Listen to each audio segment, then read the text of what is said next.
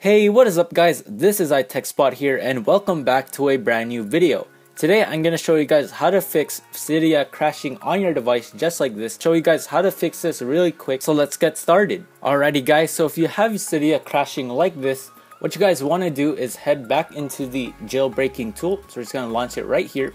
So once you guys launch the application, you guys want to tap on the circle right here. You guys are basically going to re-jailbreak.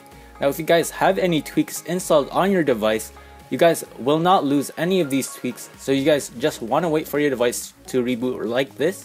And I'll be right back once this is rebooted. Alrighty guys, so we're just going to slide to unlock here. And as you guys can see, my tweaks are back.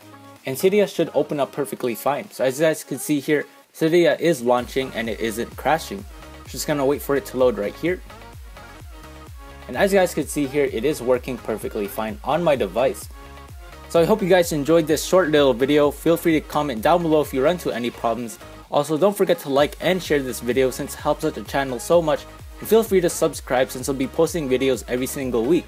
Anyways guys, this is iTechSpot and I'll catch you on the next video. Peace!